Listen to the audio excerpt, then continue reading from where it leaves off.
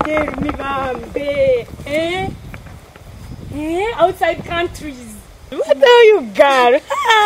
I see.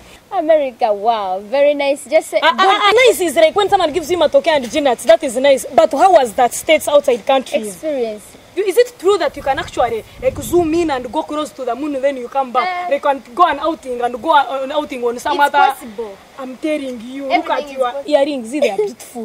necklace. See, oh, I what other good. things? You I wish I had like pictures and you show me. have some pictures. Oh, in an album, you have album in your bag. No, I have pictures on my phone. Wow. And these are the smartphones I see. Yeah. I hear around that they have Twitter, manya WhatsApp, Those ones. Facebook, you Gmail, what all those things. Ah, you know the phone. I know.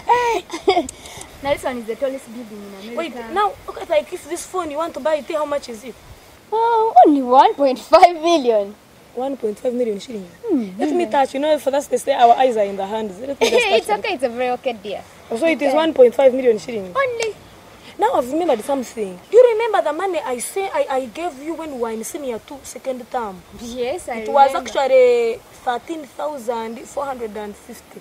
Yes, I remember. You didn't pay me back. But why are we uh, remembering the past? Because I'm going to confiscate your phone till you pay me back. Am I serious? Did, didn't I give you that money? Did you say, I gave- didn't I give you that money? yes. Did you gave- pay me?